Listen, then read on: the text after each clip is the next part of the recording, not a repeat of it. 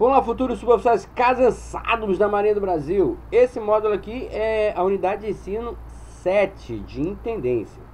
Não tem o um nome aqui, eu vou colocar para vocês aqui. Tá aí. Unidade 7, estrutura básica da gestão patrimonial. Aí a gente, naquela continuidade, sempre, como de costume aí nessas unidades de ensino, a apresentação aí do módulo ao aluno, boas-vindas, né? E aqui, unidade unidade de ensino, que é a 7, né? Noções de gestão patrimonial. Então, agora os tópicos e os objetivos, né? Que é aquilo especificamente, exatamente o que você tem que focar aí dentro do seu estudo. É o conceito de gestão patrimonial, a estrutura funcional da gestão patrimonial, estrutura organizacional da gestão patrimonial e a estrutura patrimonial da gestão patrimonial. Bom, de início, conceito. O que é gestão patrimonial? É tudo aquilo que compreende as atividades administrativas e contábeis que possuem a finalidade do controle patrimonial. Aí o controle de quê? Dos bens da Fazenda Nacional. Por quê? Aquele computador que está na sua sala, lá no seu setor de trabalho lá na Marinha, ele não é seu e nem é da OM. Ele é um bem da Fazenda Nacional. E como bem da Fazenda Nacional, ele tem que passar por fiscalização né, de agentes responsáveis pela administração ou guarda desses bens. E esse, essa estrutura de gestão patrimonial, ele tem essa finalidade aí de controlar esse material, fiscalizar e guarda a guarda desses bens também. Isso tudo para evidenciar a composição do patrimônio da Marinha. E aí a gente vai ver qual, qual é o funcionamento desse processo. Aí tem o propósito de gestão patrimonial. Bom, ele vai processar, vai transformar isso em documento, definição, man, vai manter esse material, por último fiscalizar e produzir. Nada de, de muito esdrúxulo aqui. Vamos lá. Dentro do propósito de gestão patrimonial, temos é, seis, seis, seis observações aí. A primeira delas é que Processar a gestão dos bens patrimoniais em estoque e imobilizados na OM. De forma compatível com os sistemas contábeis existentes. Sistema Integrado de Administração Financeira do Governo Federal, já vou falar sobre isso. Os sistemas de controle de material da Marinha, também vamos falar sobre isso. Exemplo de sistema material da Marinha é o SISMAT, para que os fatos administrativos correspondentes sejam registrados e contabilizados do mesmo do mesmo em todo o sistema. Aí, é, não é para decorar não, tá gente? Isso aqui é só para dar um entendimento melhor para vocês aí. Vamos lá. Esse CIAF aqui, a gente já viu aqui, ó, Sistema Integrado de Administração Financeira do Governo Federal. Você já deve ter ouvido lá, toda vez que você for no setor, em algum momento dessa sua carreira aí, for lá no setor de intendência, fazer uma aquisição de material, você vai falar de nota de empenho, né? Nota de empenho é realizada aí através desse CIAF aí, desse sistema integrado. E ele não é só de marinha não, tá? Ele, ele engloba também as outras forças armadas e os órgãos públicos. Então, fica lá em Brasília isso aí, tá? Esse CIAF, ele tem que estar é, com as mesmas informações, claro, são sistemas diferentes, né? Mas no final das contas, o saldo das, dessas, dessas informações tem que ser o mesmo. Por exemplo, na Marinha, a gente tem um sistema de controle de material que a gente conhece como SISMAT. Aí muita gente no passado chamava isso de SISBENF, né? Hoje é SISMAT. Acho que entrou em vigor desde 2011 esse SISMAT aí. O SISMAT, ao final de todo mês, ele tem um relatório. Esse relatório, se você filtrar, tiver acesso ao SISMAT, filtrar por, por de maneira geral, um desses relatórios aí, corriqueiros, você vai ver no, no final um valor total por contas, é um extrato. Inclusive nesse extrato tem o, o, valor da depreciação mensal também, que eu já vou falar sobre o que é. Então esse extrato aí dizendo todo o valor de cada mobiliário e também esse estoque, ele tem que bater com o mesmo valor lá no CIAF. Por exemplo, eu tenho uma conta, vou chutar aqui um número, tá? Eu tenho a conta 01. Vamos supor que essa conta 01 seja referente ao mobiliário. Então vamos lá. Móveis, né? Cadeira, mesa, é, sofá, é, poltrona, é, é, mesa de centro, púlpito, essas coisas, mobiliário. Vamos supor que lá no Sismat eu tenho nessa conta 01 10 mil reais. Aí tá lá o extrato mensal lá, conta 10 mil reais. Quando eu for lá no CIAF, no CIAF, referente a minha OM, vai ter uma conta 01. E lá tem que custar 10 mil reais igual no Sismat. Aí, mas como é que, Omega, como é que é esse negócio de depreciação? Então, todo mês o bem sofre uma depreciação. Então, você tem que lançar essa depreciação no Sismat. E, admito, no Sismat já gera automaticamente, né? Aí você mensalmente pega, você não, o fiel de material, né? Vai pegar esse extrato depreciativo, vai lá no CIAF e lança com código correspondente o valor que foi depreciado referente a essa conta. Isso é feito para todas as contas. Mas o que você tem que entender aqui não é como é esse processo, não. Eu falei só para você entender como é que funciona. O que você tem que entender aqui é que CIAF e SISMAT tem que estar tá conversando e os valores têm que bater. Olha só, até os centavos, tá? Se tiver pegando centavos, dá ruim. Tem que bater a conta exatamente com nos dois sistemas. Vamos lá. Bravo. Documentar, registrar e demonstrar os resultados dos atos e fatos administrativos relativos às transações efetuadas com bens patrimoniais. Por exemplo, você vai transferir uma cadeira do seu setor, vamos supor que você trabalha no setor de apoio, e vai transferir uma cadeira para a intendência. Então, quando você transfere a cadeira, a cadeira não vai só com uma CP, não, ó, de agarra, não, não. Você vai lá no você faz uma CP pedindo o fiel de material tirar essa cadeira da sua carga e colocar na carga de alguém lá na intendência. Isso vai ser uma, uma nota de movimentação de material. Vai sair da conta de alguém, da responsabilidade do Cisbens, né, do de alguém, vai para outro. Então, isso é uma responsabilidade também desse processo de, de gestão patrimonial, né? Você tem que é, documentar, registrar e demonstrar os resultados. Esses atos administrativos também entra também o processo de base, tudo isso aí entra isso também. Mas o, o item bravo aí fala de documentar e registrar. Charlie, definir e controlar as responsabilidades pela gestão, uso, guarda e conservação dos bens. Gente sabe que quando você embarca num determinado setor, tem um material no setor imobiliário, seja o que for, esse material é registrado e a gente diz que está na carga. Está na carga de alguém. Significa que em algum momento esse indivíduo foi nomeado para assumir essa carga e está responsável pela guarda daquele material. Aí, por exemplo, você vai passar a função para um outro candango. O que, que o candango faz? Vamos é, emitir aquela nota, aquele extrato de tudo que tem. Ele vai conferir uma por uma e se todo o material que está no papel estiver presente físico no local, ele vai assinar assumindo a responsabilidade para aquele material. Geralmente você faz isso quando desembarca, né? Você é responsável por um CISBEM que vai sair do setor, vai desembarcar da OM, você passa a carga desse material para o próximo militar que vai assumir a guarda dele. É disso que ele está falando. No delta aí, manter atualizados os valores contábeis desses bens patrimoniais em relação à variação da moeda e que são expressos ao seu estado de conservação decorrente de desgaste ao longo do tempo e obsolescência. Isso aí é, entra assim no contexto da depreciação. Mas vamos supor, eu comprei um computador, o computador é antigo. É, eu comprei o um computador há 30 anos atrás, 20 anos atrás. Hoje, na época, o computador valia 2 mil reais. Hoje esse computador não vale mais nada. Mas quando você olhar, muitas vezes acontece, você vai olhar na, na papeleta lá da carga, TRI lá, da carga, você vê que o computador que já nem funciona mais está valendo dois mil reais. Quer dizer, não foi registrado, não foi controlado, não foi atualizado o valor contábil dele no decorrer de todos esses anos. É disso que ele está tratando. O controle de gestão patrimonial, ele visa também fazer com que esse material ele perca o seu valor no decorrer do tempo, para que depois você possa até solicitar uma baixa dele, por exemplo. Ó, é inservível, não funciona, não tem conserto, não é monetariamente é, viável consertar porque vai acabar gastando mais, então vamos dar baixa do material. Então tudo isso é levado em conta também.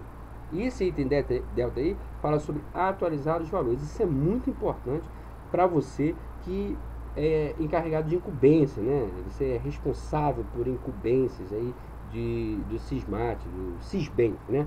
O antigo CISBEM. Então é importante que você esteja sempre monitorando aí se o material realmente está sofrendo a devida depreação. Se não tiver, tem que procurar o fiel de material e participá-lo aí, possivelmente com medo de peixe, porque algum erro no sistema está acontecendo que o material não está depreciando.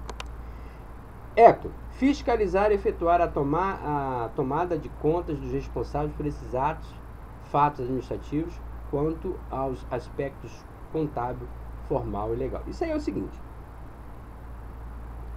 É, mensalmente, fiel do material tem que fazer a sua comprovação e levar lá para o agente fiscal. Né? Então, é, é disso que ele trata. Isso aí é, é fiscalizado constantemente. Não é incomum você embarcar numa OM ou mudança de comando e o comandante mandar fazer um levante geral do, do material patrimonial de cada um e pedir o pronto, porque ele quer atualização. Isso é muito comum. E está escrito, é amparado por isso daí. E por último, por, é, por último, fiscalizar já foi, produzir os demonstrativos contábeis requeridos pelo controle interno externo. Aí, esse, esse demonstrativo contábil é aquele extrato que eu falei. Mensalmente, o fiel de material vai emitir o demonstrativo contábil do mês corrente. Isso vai ficar arquivado na sua comprovação aí. Por quê? Para o controle da própria OM ou externo. O sistema pode pedir ali para você enviar para algum lugar esse material para saber se está sendo feito de maneira correta. Então vamos lá. Agora sobre a estrutura funcional. Agora é funcional. Tá? A gente viu ali genericamente como, como é que é a dinâmica aí do controle patrimonial. Agora a gente vai ver a estrutura funcional. Na gestão patrimonial, os militares e servidores civis, aí atenção, tá? Que a gente fala de militares e servidores civis, tá? Responsáveis pelo exercício das atividades poderão desempenhar as seguintes funções. Aí vamos lá. Funções importantes. Aí toda OM que tem controle patrimonial tem que ter isso aí. Ordenador de despesa e ordenador de despesa substituto. Ou seja, geralmente nas OMs pequenas, o ordenador de despesa é o próprio comandante. Né? Agente fiscal e agente fiscal substituto. Esse agente fiscal, em OMs pequenas, estou levando sempre por conta de OM pequena, é geralmente o imediato. E o gestor de bens patrimoniais né? E o seu substituto. Vou até apagar aqui, não, não há necessidade de colocar. Todos eles têm que ter um, um substituto. Aí em caso de férias, de ausência, né? Aí, esse gestor de bens patrimoniais, lá na publicação diz que tem que ser um oficial, tá? Ah, mas eu já vi no OM que tinha um suboficial que era o gestor patrimonial. Olha só, não arca. Só que a gente sabe que muitas vezes por deficiência de pessoal às vezes é pequena demais, às vezes acontece. Normalmente, quando o pessoal vai botar um praça nessa função aqui, eles mandam uma mensagem pedindo, é, pedindo orientação técnica, tá? Não é muito de agarra não, você não sai colocando não. Só que é o seguinte, deficiência de material é uma coisa que precisa ser contornada e não pode ficar sem um, esses gestores de bens patrimoniais, a sua OM não pode ficar sem. Então, é possível sim você encontrar, não é o que marca, mas é possível sim. Vamos lá. Gestor patrimonial, gestor de material para fabricação, gestor de material para fornecimento e gestor de material controlado. Isso tudo são materiais é, existentes em contas específicas. Né? Administrador do Sysmat Web, geralmente é o fiel de material. Encarregado de incumbência, que aí é aquilo que eu falei, né? encarregado de incumbência não é o oficial encarregado do, do, do, da divisão, não. Esse encarregado de incumbência é encarregado, por exemplo, da sala é, de projeção do auditório. Aí todo o material que está ali dentro dessa sala é relacionado e essa relação tem um responsável por tudo aquilo que está relacionado. Esse cara responsável ele é chamado de encarregado de incumbência. É praça, não é oficial, é praça.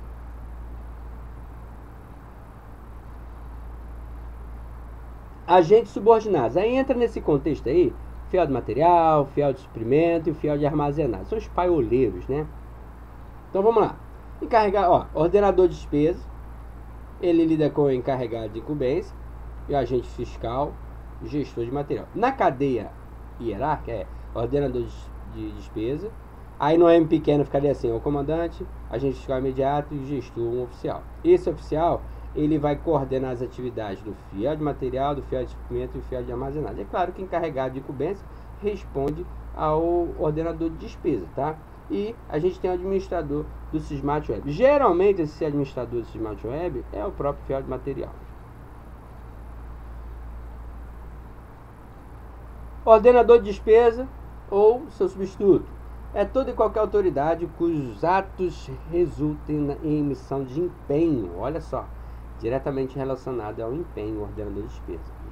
Autorização de pagamento, suprimento, dispêndio de recursos da União ou pelos quais esta responda, sendo responsável pela gestão patrimonial SUEM. Então, nada demais, a gente já comentou sobre isso. Na Marinha do Brasil, o ordenador de despesa será o comandante diretor, tá aqui. Comandante diretor ou quem for designado para tal em conformidade com o disposto em normas sobre administração financeira.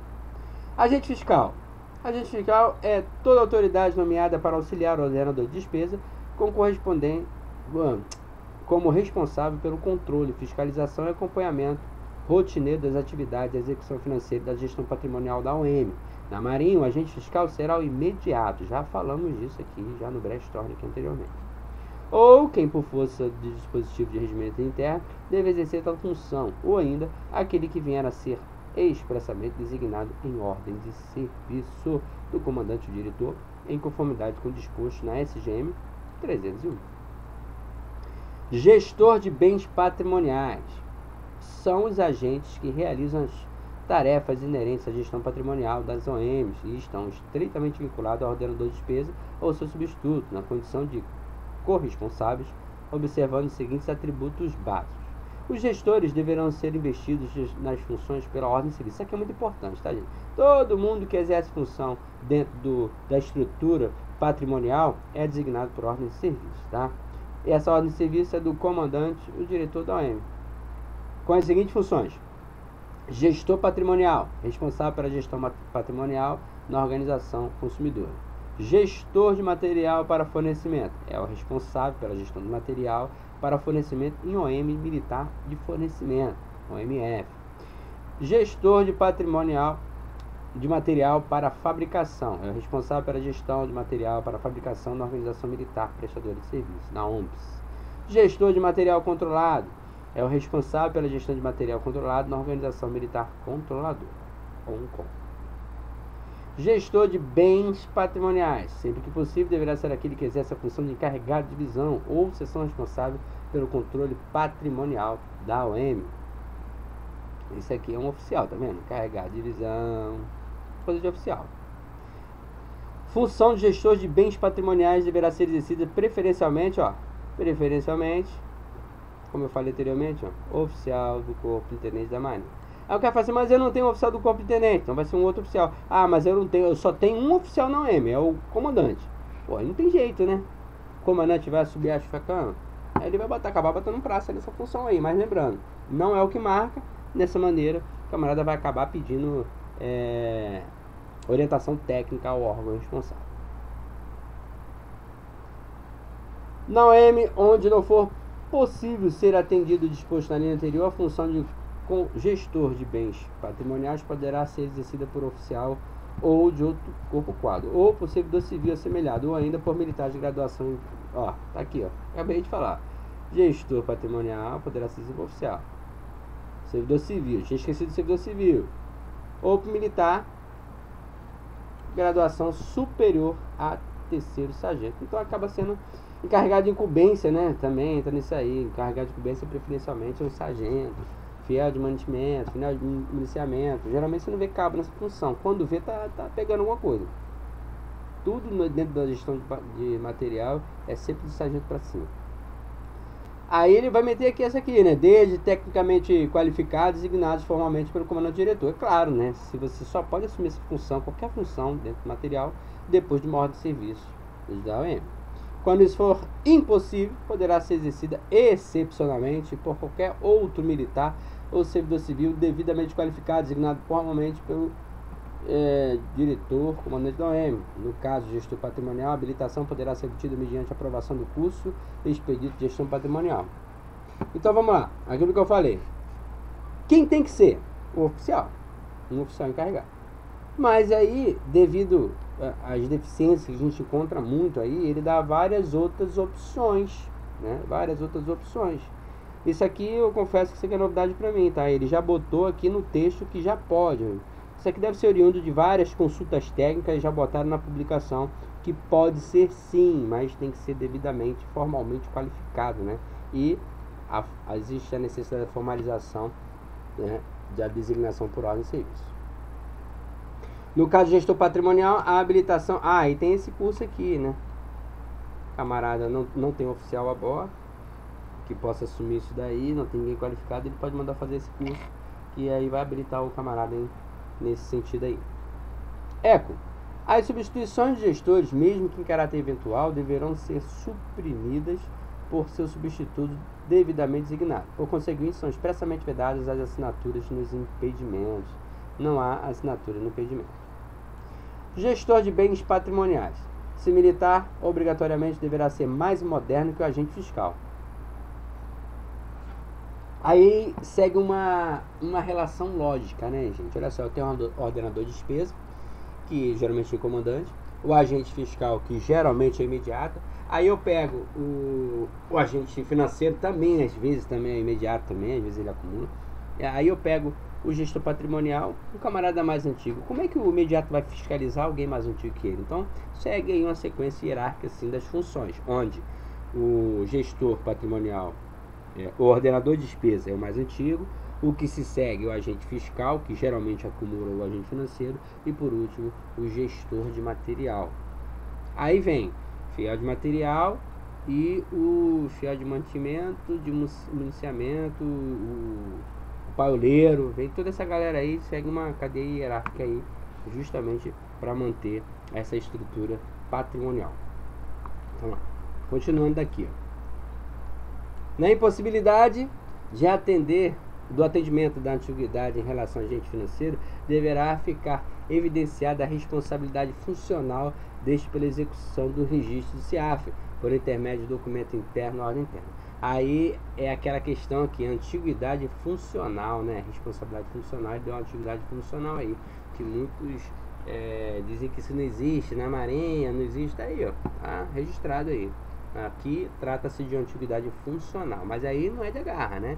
Tem um documento interno, tem uma ordem interna que diz, nesse quesito, sobre esse assunto, ele vai ter uma certa precedência funcional aí. Golf. O gestor de bens patrimoniais obrigatoriamente deverá ser mais antigo que os agentes subordinados. Na impossibilidade de atendimento da antiguidade em relação a esses agentes, deverá ficar evidenciada a subordinação funcional do gestor de bens é, patrimoniais por intermédio do documento interno. É, gente, agora uma situação. Daqui por diante a gente sempre vai falar dessa questão de antiguidade funcional. Assim, é, às vezes, você tem um camarada a bordo, o camarada trabalhou só 20 anos com gestoria de material. Aí você vai pegar outro camarada que nunca trabalhou com isso. Pô, assim, pelo bem, pelo sucesso da Fânia, às vezes é viável que esse camarada que trabalhou 20 anos de experiência tenha essa precedência funcional aí. Até porque ele vai estar tá safando todos os outros aí devido à sua expertise e experiência. Então não é algo muito esdrúxulo não. A gente enquanto militar, a gente tem uma resistência em entender o funcionamento disso, mas isso aí é um funcionamento administrativo. E por último, considerando que o CIAF somente admite a existência de um agente financeiro e, bem assim, a este é imputada a responsabilidade pela conformidade de registro da OM, o acesso dos gestores de bens patrimoniais ao CIAF ficará restrito a transações de consulta e a emissão de nota de lançamento, documento hábil para registro e movimentação de entrada e saída dos bens da respectiva gestão patrimonial, conforme procedimentos previstos nas instruções para contabilização patrimonial e manual do procedimento contábil, disponível na página da FM, no caminho gestoria gestão. Isso aqui é o seguinte, gente, olha só. É, sempre que se fala em, em gestoria de material, CEAP, assim, é um pouquinho complicado de entender porque são, é, são, são é, sistemas cuja operação é restrita. Cada OM tem o seu número limite aí de operadores de CIAF. Não é assim de agarra, não. Eu não posso botar 50. Não posso chegar assim, ó, todos os militares da minha OM é, são operadores de. Não pode. Tem um limite para cada um. Até porque esse sistema é, é, do governo federal, não é da Marinha. Então a gente tem um limite. Aí o que acontece? O responsável pelo lançamento disso tudo aí vai ser o agente financeiro. Que o sistema é financeiro, vai ser o agente financeiro. Mas é ele que faz os lançamentos? Não, não. Por exemplo, aquele, aquele, aquele exemplo que eu dei da cadeira que vai transferir de um, de um setor para o outro. Quando você transfere, você faz uma CP, mas a CP não entra no CIAF. A CP não entra no SISMAT. A CP é só a formalização da necessidade de transferência, algo que te respalde se o procedimento não, não, não tiver sido concluído no CIAF SISMAT. A CP te respalda, mas a CP não regulariza os procedimentos contábeis, patrimoniais relacionados a isso. Então, como é que funciona? Tem uma coisa que a gente chama de nota de lançamento. Toda vez Aí o CIAF não enxerga cadeira, não enxerga mesa, não enxerga computador. Ele enxerga dinheiro, ele enxerga o valor. Ele enxerga 300 reais, 400 reais, 2 mil reais, 50 reais. É isso que ele enxerga. Então toda vez que você tira de uma conta 50 reais e transfere para outra conta 50 reais, ele, ele precisa de uma nota de lançamento. Quem vai fazer isso? Não é o agente financeiro. O agente financeiro ele vai fiscalizar isso, não é ele que vai lançar. Geralmente quem vai lançar isso aí é o, é o camarada lá do Cistoc, é o camarada lá do CIAF, ou do, do, do de material.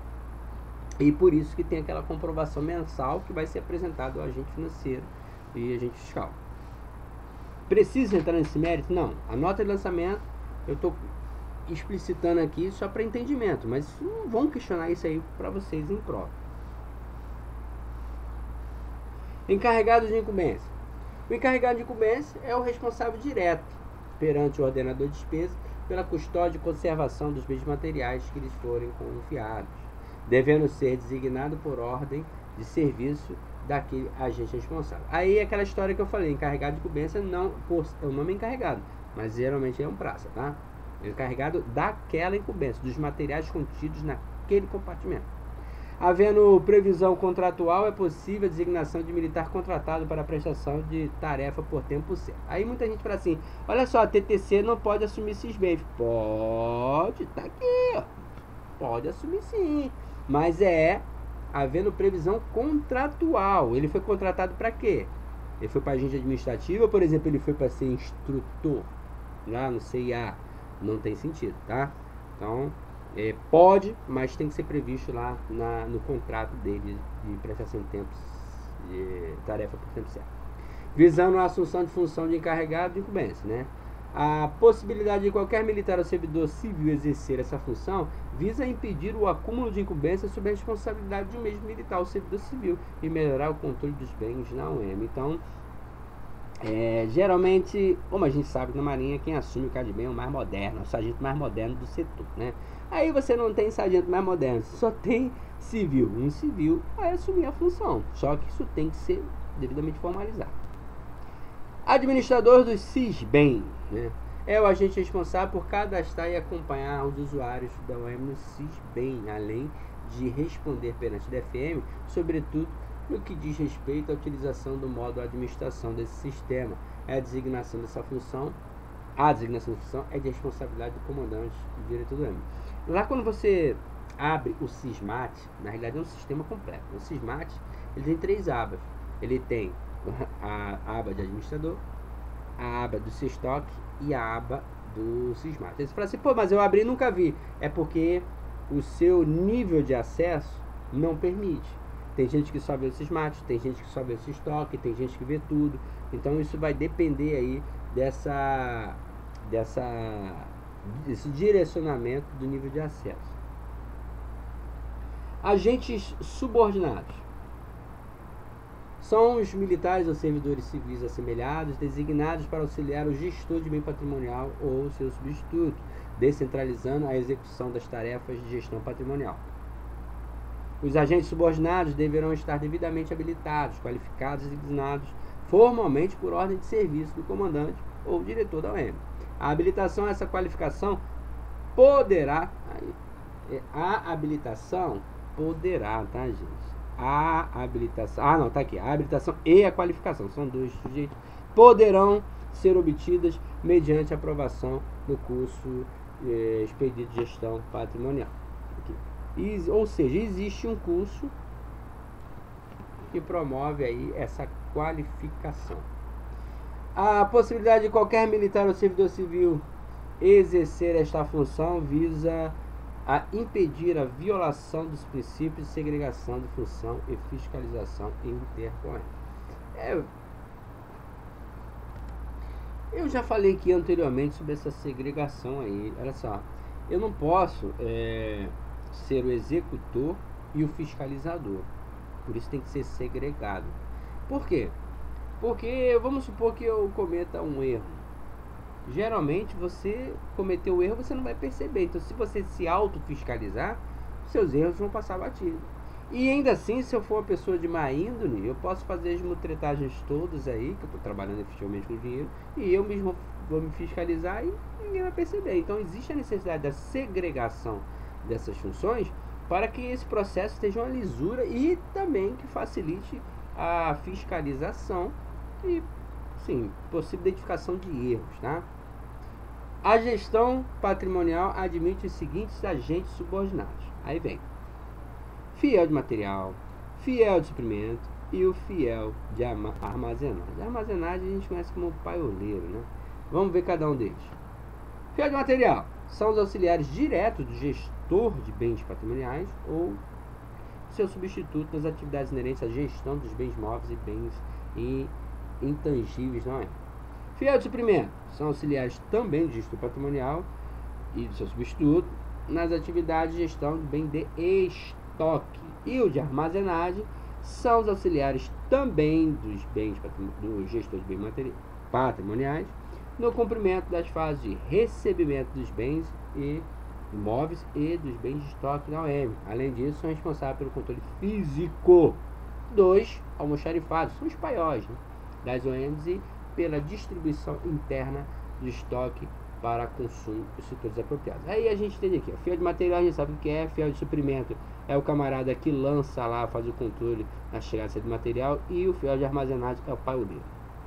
Resumindo, né? Relator de gestão patrimonial.